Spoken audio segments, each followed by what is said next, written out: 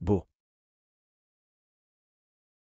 Le mot beau est un adjectif qualificatif qui signifie agréable à voir, esthétique, élégant ou encore distingué. Il s'emploie généralement pour qualifier quelque chose ou quelqu'un de manière positive. Voici quelques exemples pour illustrer l'utilisation de beau.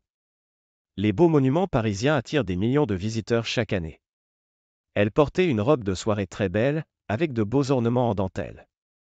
Les beaux jours de l'été sont souvent synonymes de vacances et de détente. Il possède une belle voix, avec des notes puissantes et harmonieuses. C'est un bel acteur, très talentueux et charismatique. Nous avons vu de beaux paysages en randonnée, avec de magnifiques vues panoramiques. En résumé, beau est un mot qui exprime la beauté et l'esthétisme, et il peut s'appliquer à différents domaines tels que l'art, la nature, les personnes, les vêtements, etc.